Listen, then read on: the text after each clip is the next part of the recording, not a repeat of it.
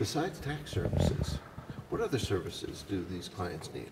Yeah, the, the immigrant population or the Latino and the Latino population, taxpayer population, they they are very uh, they understand the concept of el mercado, the marketplace. So they'll come to you and because they, they trust you, right? I can imagine somebody being in a foreign country, you're not aware of the the laws that exist, and so when you find an advisor and that you trust, you ask them about real estate. How do I buy a home? Uh, insurance. What type of insurance should I purchase for my home or my business or, or my, my vehicles?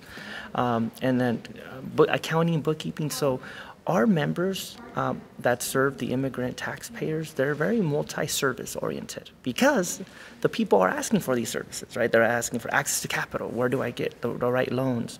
Uh, they're asking for the right insurance. Uh, purchasing property, and then it all intertwines with the tax code, right? Whether it's like the brand new opportunity zone, investment opportunity, or the 1031 exchanges, or um, the right accounting. I mean, that's we could. It's another arena. The right accounting to for your right business to scale and to have access to capital. So we're, we're this is just the beginning. Over 60% of our members are under 45 years of age, and it's a younger demographic.